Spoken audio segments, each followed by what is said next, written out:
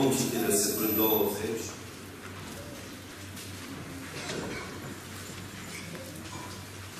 Un Samuel, capitolul 1, versetul 20.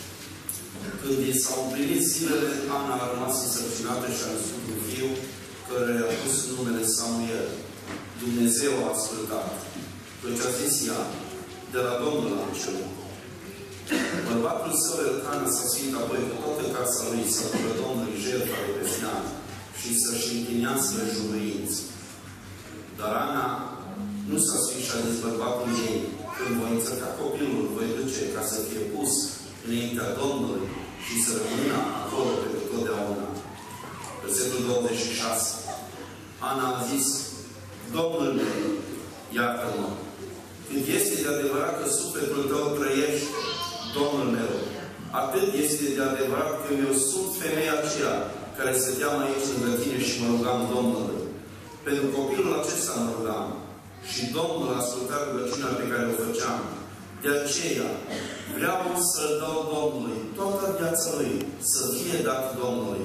Și s-a înclinat acolo, înaintea Domnului. Amin. Amin. Veniți, vă așezați.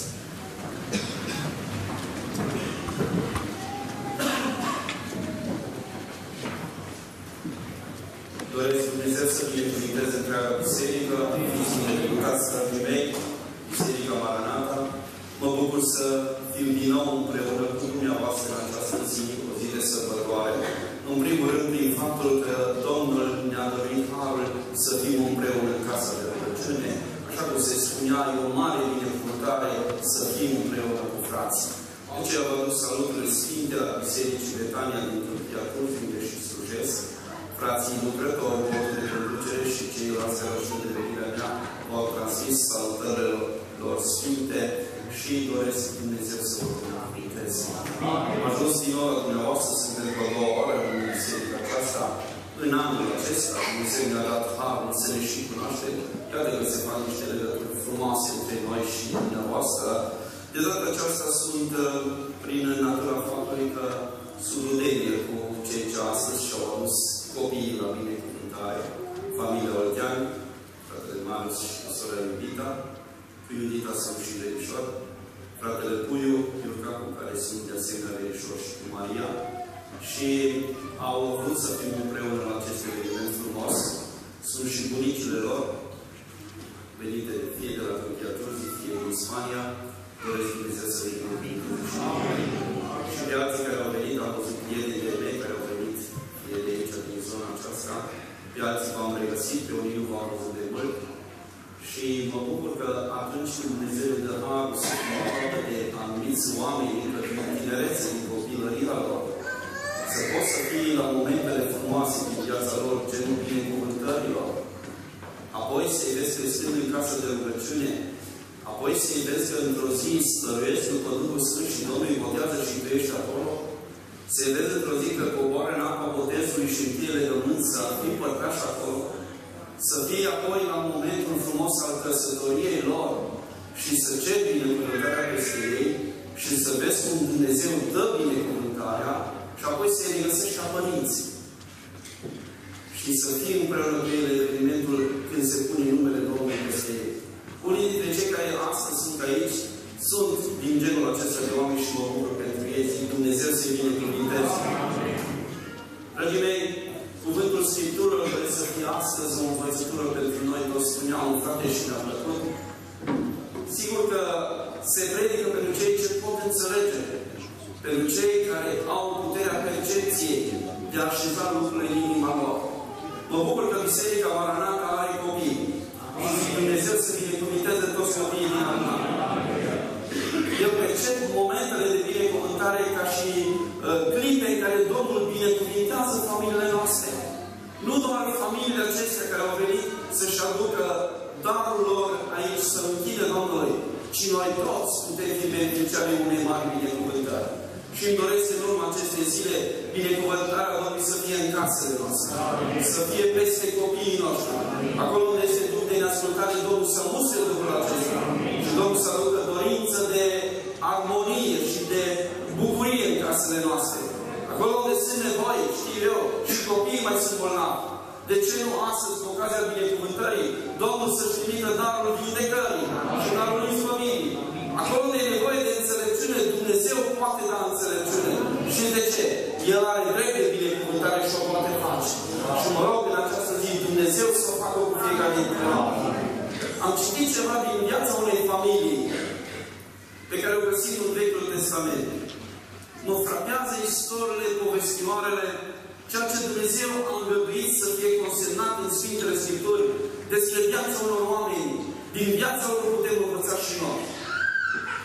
Trăirile lor, neîmplinirile lor, eșecurile lor, binecuvântările lor, realizările lor de mai târziu, modul în care Dumnezeu i-a folosit pe anumiți oameni. Ce au făcut oamenii aceștia de Dumnezeu i-au folosit în modul acesta?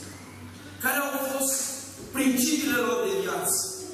Ce au făcut părinții ca dintr-un bebelaș, un copil ce îl țin mână, peste ani să fie judecător în Israel? Uitați ce spune Biblia în 1 Samuel, capitolul 7, versetul 15. Samuel a fost judecător în Israel în tot timpul vieții lui. Extraordinar. Nu 4 ani, nici 8, nici 10, nici 20. Toată viața lui. Ce s-a întâmplat în viața acestui băiat? Ca Dumnezeu să investească atât de mult în el. Ce au făcut părinții aceștia? Tema mesajului meu din această zi este un diamant în mâna maestrului sau în mâna bijutierului. Și diamantul acesta este copilul pe care Dumnezeu ți-l dă. Și Dumnezeu mă socotește vrednic să-mi dea mie, să ți-l dea ție. Și să spune, eu te consider ca un maestru și ți-am dat o valoare, prelucrează, dăltuiește șlefuiește-l. Dacă e nevoie, cioplește abin și fă din el un diamant de valoare. Așa sunt copiii noștri. Ei sunt o binecuvântare. Este darul lui Dumnezeu. Și dintr-o familie care privește și spui niciodată nu va ieși nimic din familia aceasta. Să vezi că Dumnezeu binecuvintează, așează copii și peste ani devin niște oameni deosebiți, integri, slujitori în casa lui Dumnezeu. Cine poate face aceasta? Dragul meu, există un anumit procedeu de prelucrare. În primul rând, copilul la seamănă cu diamantul acela pe care trebuie neapărat să fie prelucrat într-un cadru propice. Și acest cadru Dumnezeu l-a numit familie. Nu se poate copii fără familie. Nu se poate copii fără cadrul acesta binecuvântat. Deși eșecurile societății le spun. Întâlnesc copii care vin din centrele de plasament. Întâlnesc copii care au fost crescuți în vechile case de copii în România. Cu caractere, cu atâtea deficit, cu atâtea lucruri lacune în viața lor și realizez și îmi dau seama. Cadrul acela n-a fost un cadru propice. Păcatul s-a infiltrat în viața unor încă din copilăria lor. Și atât de greu să prelucrează materialul acesta.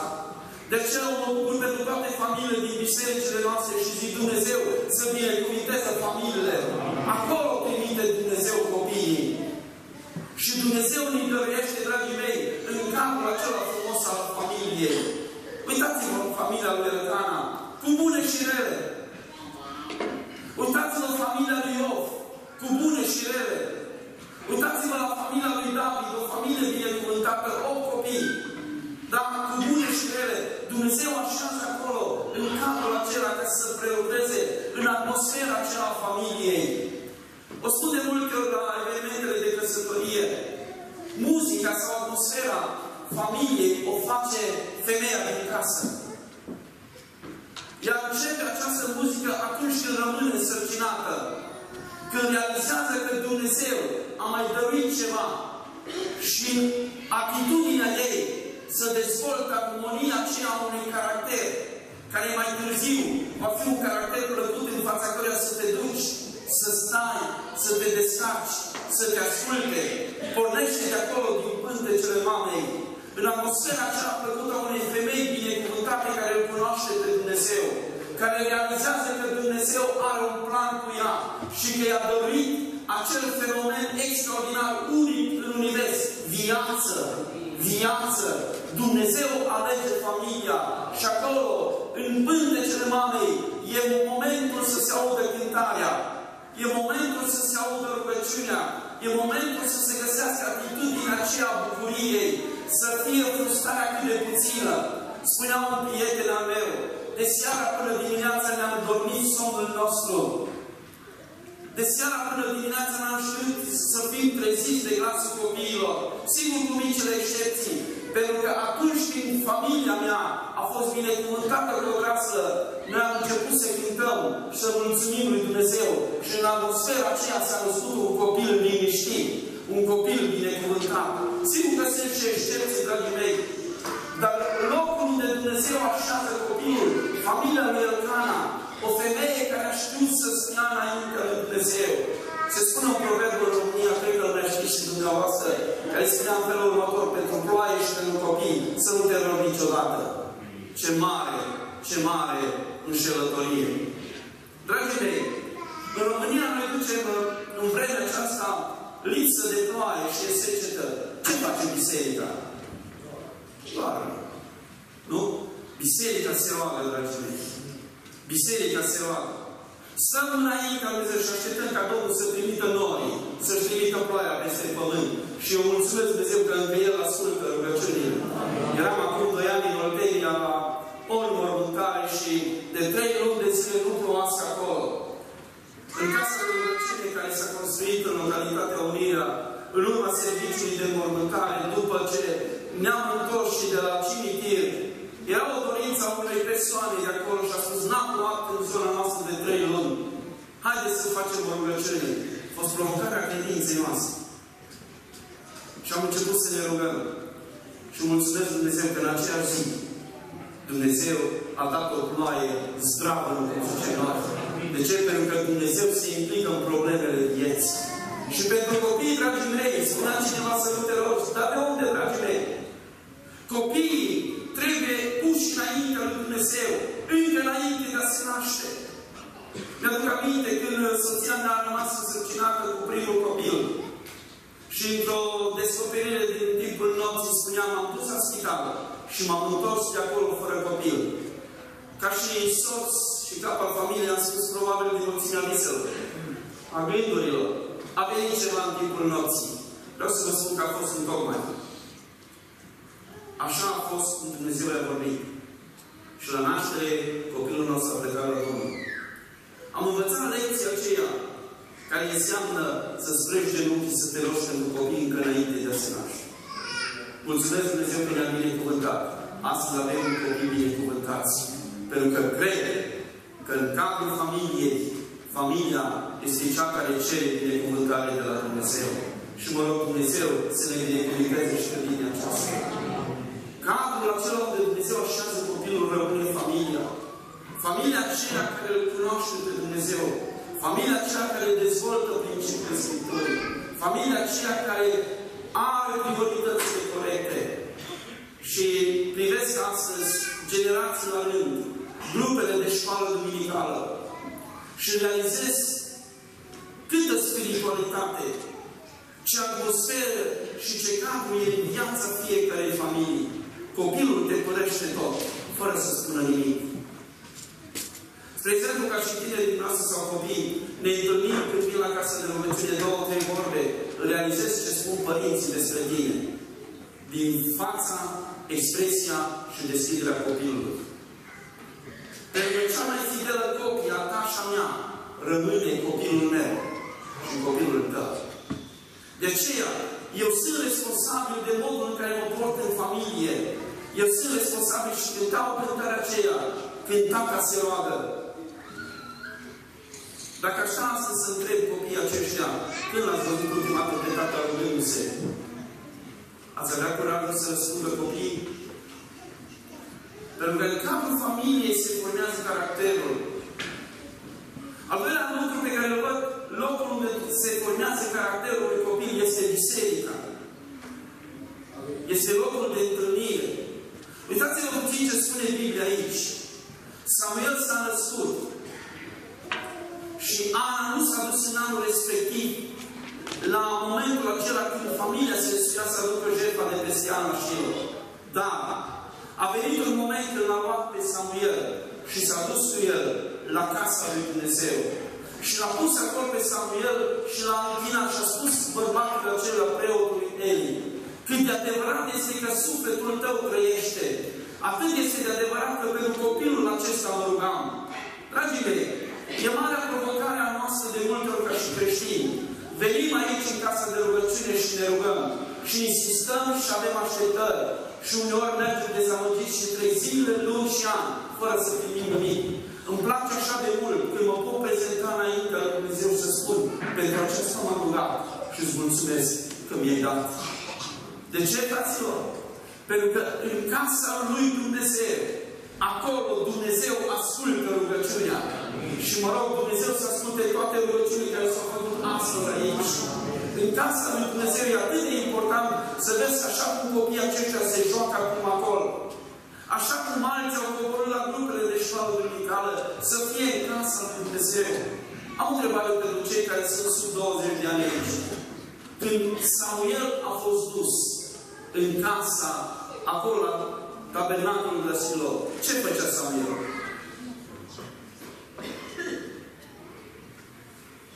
Haideți să vezi Deschideau și era să Domnul. E interesant ce spune avea Samuel. Deschideau și de case Domnului. Și acolo, în casa lui Dumnezeu, dormea lângă chivă. E o mare binecuvântare să ai acea prezență activă în casa lui Dumnezeu. Să fii acolo. Am trecut prin Duhul Sfânt, vorbea Domnul la noi, la momentele de pregătire a stăruinței și spuneam felul următor, când ne-am rugat pentru copiii biserici, pentru tine și am spus în față, Duhul Sfânt spunea așa, am să mă descoper acestor tine și am să vorbesc cu ei chiar în toiul nopții. Și în mintea mea am pus întrebarea, să vedem acum. A trecut iarna și a venit ianuarie și am intrat cu biserica la Sărinți. Și copiii aceia care au fost atunci în acea seară, unul dintre ei a venit la consilier și a spus, azi noapte Dumnezeu a făcut cuvânt. A fost atât de profund pentru mine. Și a spus, Dumnezeu mi-a spus ce trebuie să fac. Și în seara aceea Dumnezeu l-a botezat cu De ce, frații mei? E atât de important cadrul acesta biserici să vadă copilul atmosfera aceasta binecuvântată. Să simtă prezența lui Dumnezeu care coboară în adunare. Să audă o prorocie prin Duhul Sfânt. Să vadă o vindecare și o minune pe care Dumnezeu o face. Eram de mult într-o biserică din diaspora și o familie a vrut să se în mod deosebit înaintea lui Dumnezeu. Surpriza mea a fost plăcut când a văzut că au intrat împreună cu băiatul de 11-12 ani. Și a spus, vrem să ne rugăm și să audă și el. E atât de important în cadrul acesta numit biserică, copiii să fie prezenți. Copiii să fie împreună cu tine. Vă aduceți aminte de momentele acela în care Domnul Iisus dă o pildă și spune la un moment dat despre prietenul care merge la miezul nopții. Spune, nu mă deranja. Pentru că copiii sunt cu mine, pentru că copiii sunt cu mine. Uneori, din dorința de slujire, de a veni, de a fi, uităm de ceea ce ne-a dorit Dumnezeu. Nu uitați, dragii mei, ce a rămas impregnat în memoria noastră ca și copii, au rămas momentele când Duhul Sfânt s-a coborât în adunare. Momentele când am auzit predicele acela memorabil a unor oameni folosiți de Dumnezeu. Când am văzut cum Dumnezeu a vindecat un paralitic, un om care l-a dus soția lui cu sania la biserică. Și în urma rugăciunii s-a ridicat, a sărit în picioare și a început să fugă prin adunare. Toate acestea ochii mei le-au văzut. Glorie Și toate acestea am știut că este un Dumnezeu puternic. Unul care lucrează și astăzi. Aleluia! Mi-aduc aminte de vizita într-o familie când uh, fratele cu care am fost de vorbă doar în urmă cu două ore împreună cu soția lui. Am primit telefon de la soția și a spus, vină frate Matei, s-a întâmplat ceva cu soțul meu și înainte să mă duc la spital, vreau să ne rugăm. Acolo erau copiii. Acolo erau copiii. Când am început să ne rugăm, cel mai puternic să rugau copiii. Și în urma rugăciunii și a ungerii cu la cânteala ochiului, Domnul s-a atins și a făcut mare izbăvire. Și am zis, Doamne, poate că ai făcut-o pentru aceștia care îi se vadă că Tu existi, ești un Dumnezeu, slăvit să fie numele Domnului. De aceea iubesc biserica, dragii mei. Și când nu suntem la adunare, parcă focul acela ne arde la călcâie și ne spune, biserica e înaintea Domnului și tu unde ești. De aceea mă rog Domnul să pună râvna pocăinței noastre și dorul de a fi împreună cu copiii noștri la casa Domnului. Vă duceți aminte de Domnul Iisus Hristos la ce vârstă a fost dus prima în templu? La 12 ani. La 12 ani. Afară de momentul când a fost dus și a fost luat în brațe de către Samuel, de către Simeon. Da? A fost momentul în care a fost dus acolo la casa lui Dumnezeu. Mulțumesc astăzi Domnului pentru părinți.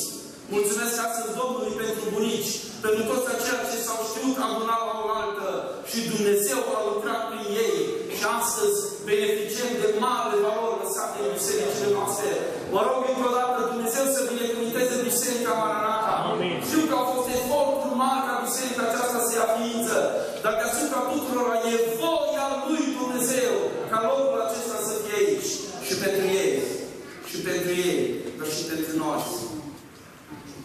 Locul unde se prelucrează diamantul este familia, este biserica. Un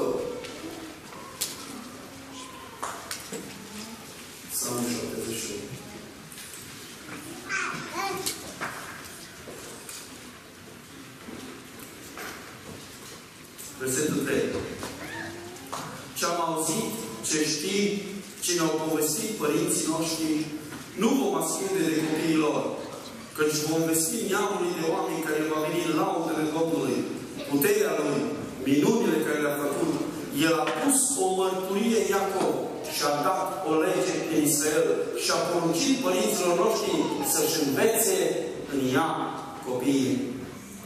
Acesta este standardul după care învățăm, dragii mei. Acesta este modelul după care îl prelucrăm. Atunci când copilul tău vine la terminarea unui ciclu, fie gimnazial, fie chiar la absolvirea unei școli de tip liceu, sau nu știu cum e la dumneavoastră, sau chiar facultate, și spune, tata, toți copiii mei merg la banchet. Tu ce faci? Când toți copiii, colegii mei, se duc și sunt undeva la o sală de festivitate și în urmă merge să se fie și punem o, o muzică și toată lumea se simte bine. Ce face copilul tău? Vorbeam mult de mult cu cineva din biserică și spunea, frate, mă ești depășit. Ce lucruri se întâmplă de la clasa 4. Și zic, agoștii sunt acolo, ce da? Și m-am speriat. Pentru că aminte când anii mei au terminat clasa 8 -a, și au spus, tata, noi ce facem? Știți ce a făcut, dragii mei? Uitați ce vorbesc eu. Priviți la cuvinte. M-am dus acasă. Am luat Biblia împreună cu ei. Și am citit câteva paragrafe de Scriptură. Și am început să învăț câteva lucruri. Și am fost sunat și mi s-a spus de către dasă, de ce principii nu vii? Și a trebuit să-mi definez crezul și principiile. Sunt momente în care noi nu putem fi ca și ceilalți. Standardul după care noi prelucrăm diamantul acesta rămâne Biblia. Și eu cred că Biblia e Cuvântul lui Dumnezeu. Și cred că Dumnezeu e Sfânt și va rămâne Sfânt pentru toate vremuri. Amin. Atunci când dintre nepoții dumneavoastră sau copiii dumneavoastră, cu ocazia sărbătorilor grăcești, își îmbracă copiii sub diferite, știu, costume și merg, ai tăi unde sunt? Ce fac? Ce fac ai mei? Pentru că nu e o, o duceți ca un fanatism religios, ci o protejare a minții, a inimii, a Duhului, în expunerea demonică, dragii mei. Copiii noștri trebuie să fie protejați de rugăciunea tatălui și a mamei, dar trebuie să fie protejați de autoritatea supremă, cuvântul lui Dumnezeu lăsat în noi. Și atunci când noi respectăm lucrurile acestea, copiii noștri sunt protejați. Ce am auzit, ce știm, ce ne-au povestit părinții noștri, aceea vom spune neamului de oameni care vin după noi. Să păzească legile și poruncile lui Dumnezeu. El a lăsat o mărturie în Israel. Vă aduceți aminte de momentul când au trecut apele Iordanului? Când s-au desfăcut înaintea lor și au spus, strângeți pietre, și vă vor întreba copiii voștri peste vremuri ce înseamnă aceasta. Să le povestiți copiilor voștri că Dumnezeu ne-a scos din Egipt, a despărțit Marea Roșie, am călătorit 40 de ani prin pustie, am ajuns la Iordan, preoții și-au muiat picioarele și apele s-au oprit, că Dumnezeu nostru e un Dumnezeu atotputernic. Glorie Lui! Ce vom povesti copiilor noștri? Că aduc aminte de ziua în care în casa noastră a fost diagnosticul de cancer. Când părinții mei au trebuit să meargă înaintea lui Dumnezeu și au trebuit să stea să-și mărturisească viața, au scos din inima lor tot. Au stat înaintea lui Dumnezeu. A doua zi când s-au dus și au început să facă analizele, oamenii aceia au întrebat de ce ați venit la noi. Și au venit acasă, ne-au strâns pe toți împreună și a spus, mama voastră a fost diagnosticată cu cancer, dar a fost aseară la rugăciune, ne-am rugat, ne-am mărturisit, frații au făcut ungeri la funderet și mama voastră este vindecată. Acesta e Dumnezeul nostru. Mărire Lui! Ce povestim noi copiilor noștri? Când cele mai mari vedete de la Hollywood sunt cunoscute și de cei de 7-80 ani, când cei mai mari fotbaliști, numele lor au ajuns să fie scrise pe tricourile care poartă copiii noștri. Marea confuzie a vremurilor o trăim noi. De aceea să ne ridicăm în capul nostru să știm, noi cunoaștem un Dumnezeu care este veșnic Mărire Lui! și care nu se schimbă în funcție de generații, de metode, de lucruri pe care le trăim. De aceea, dragii mei, spun astăzi tuturor împreună cu mine să citim Biblia cu copiii noștri, să ne rugăm împreună cu copiii noștri, să postim împreună cu copiii noștri, să mergem la adunare împreună cu copiii noștri, să mijlocim înaintea lui Dumnezeu ca Dumnezeu să boteze cu Duhul Sfânt din anii adolescenței, să nu guste mizeria lumii acesteia și într-o zi să spună vreau să slujesc pe Dumnezeu. Mi-aduc aminte de casa bunicilor mei. Spunea mama că ea avea o rugăciune școală în care strângea pe toți și punea să se roage. Și unii nu se rugau. Și atât mai trebuia folosit și altceva. Și într-o seară a fost întrebat tatălui Eli, de ce nu te-ai rugat în seara aceasta? Că n-am avut har. Și când a venit cu iau să vedeți har acolo. Uneori noi nu reușim nici sub o altă formă să ne strângem la rugăciune.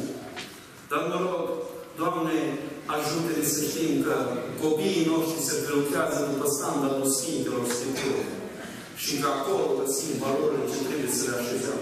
Învață pe copil care, pe care trebuie să urmeze.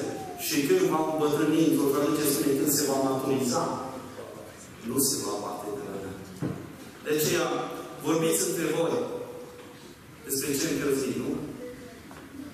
Vorbiți între voi, cu psalmi, cu cântări de laudă, mulțumindu-i și lăudându-i pe Dumnezeu. Cuvântul lui Hristos să locuiască din belșug, în voi. Dumnezeu să vă binecuvânteze. Dumnezeu să ne binecuvânteze. În zona noastră unde lucrez în România, se face un concurs talentul în Migros. Adesea mi cheamă să rostesc versetele Scripturii, un premiu bisericii, ca nu cumva să mă proiecteze un copil. Pentru că am învățat Biblia pe de rost. Și mă bucur pentru cei ce învață Biblia. Dumnezeu să o sădească în mintea lor și să rămână oamenii aceia care să vorbească despre mare lucrări pe care Dumnezeu le face. În al treilea rând, dragii mei, spuneam că diamantul se formează într-un cadru, apoi se formează după un standard și apoi trebuie căutate valorile în viața fiecărui copil. Se punea întrebarea la un moment dat despre Ioan Botezătorul, ce va fi copilul acesta? Pentru că aminte când pe le ascultam din Cluj-Napoca, în momentele de travaliu, când așteptam să vină băiatul, am făcut o rugăciune. Și am spus, după ce primul plecase la Domnul, am spus, Doamne, vreau ceva pentru copilul acesta. A venit vremea, a început să crească, să se dezvolte întrebări noastre ca și părinți. Ce va fi copilul acesta? Care sunt lucrurile care le definesc? Lucrurile care îi plac? Lucrurile care el se simte la lui ca să le facă. Trebuie căutate valorile acelea care Dumnezeu le-a așezat în băiat, despre pescar, coboară în adâncul oceanului. Iau scoica de acolo și așa de viață. Și apoi o lasă acolo. Trece vremea, trece timp. Și după o perioadă îndelungată, acele scoici unde au așezat piatra chiar colțoasă, de acolo scot un diamant. Știți de ce? Este o vreme când în viața copilului tău trebuie să-i cauți valori, să le așezi acolo. Unor două. Pentru că aminte de cineva care făcea vioară și cânta plângând. Uneori două. Momentele acelea când se așează piatra aceea. Ar trebui căutate valorile pe care Dumnezeu le-a așezat în viața fiecărui. Acolo lucrul acesta trebuie petrecut timp cu copilul tău. Să ai momentele de, de părtășie, de intimitate a familiei, în care tu să fii împreună cu el. În care să crezi că mai important decât momentul tău de repaus e timpul copilului în care să stai de vorbă cu el. Pentru că aminte despre cineva care era, avea un copil undeva, clasele 5-8 și l-a întrebat, spune, care este numele dirigintei lui? N-am știut să spun. Ce trist. Ei, ca să cunoști copilul tău, să cunoști detaliile vieții. La ce școală merg? Care sunt prietenii apropiați? Care este dascălul care își va lăsa amprenta învățăturilor peste el în timp? Caută în valori. Am un prieten să nu de, departe de către voi, la vârstă de 9 ani de zile, băiatul lui, citește Biblia și e numeră pe de rost, spițe de neam din cronici. Aleargă și se joacă în curte și la auzi, Adam a născut pe care care nu și așa. Apoi alte și alte aspecte. Lucruri pe care Dumnezeu le așează. Ei sunt oameni chemați la slujba levitică, cântă, dar se întreabă mereu, ce mă fi copilul acesta? Caută în valori în viața lor. Pune-le în valoare. Definește-le, lasă-le să crească, să se dezvolte și să vezi în viața copilului cum vin pe urmă acele binecuvântări pe care Dumnezeu le așează. Citeam într-o carte despre creșterea copiilor, un lucru pe care să-mi permite să-l pun astăzi la dumneavoastră. Și cred că ați auzit istoria aceasta, când un copil îl întreba pe tatălui, tate, cât câștigi la oră? Și spunea o sumă frumoasă în dolari. Trecut o vreme când copilul a strâns în pușculița lui niște bănuți. Și într-o zi a spus, Tată, astăzi îți dau atât. Să stai cu lor.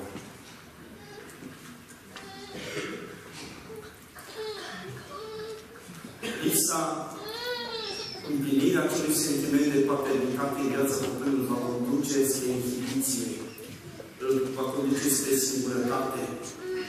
Trist este, dragii mei, când un copil de 13-14 ani, părinții nu mai pot comunica. Când tot ceea ce a definit familia nu se regăsește în viața copilului. Știți de ce? Pentru că n-a fost timpul acela alocat efectiv în care să stai, să te cunoști copilul, să-l cunoști, să-i împlinești de vorbe. De aceea luați aminte, dragii mei, la timpul pe care îl petreceți cu familia și nu uitați, cu 10 euro mai puțin într-o zi, dar mai aproape de copii. Cu 10 euro mai puțin într-o zi, dar mai aproape de soție. Poate cu 50 de euro mai puțin într-o săptămână, dar târziu la casa lui Dumnezeu. Nu uitați, Dumnezeu nu se lasă să fie batjocorit. Ce seamănă omul, aceea se cerăm. Investim în valori în viața copiilor. Să vă adânc, acolo așezăm valori care peste ani se vor defini. Mi-aduc aminte când aveam în copilărie, în adolescență, la 16-17 ani, un prieten, dădeam un curs care învață de multe epistole din Sfânta Scriptură. Totdeauna eram în ca mine. Dar a fost în viața părinților noștri ceva. L-am auzit pe tatăl meu predicând de atâtea ori, l-am auzit pe tatăl lui profețind de atâtea ori. Idealul nostru era să fim ca ei. Astăzi, dacă am fi întrebați să mi se spună, Matei, ai vrea copiii tăi să fie ca tine? E foarte important să definim în viața copilului valorile acelea care îi va ajuta să devină niște oameni puternici. Samuel, spuneam, a fost judecător toată viața lui. De ce? Pentru că s-a pus ceva acolo.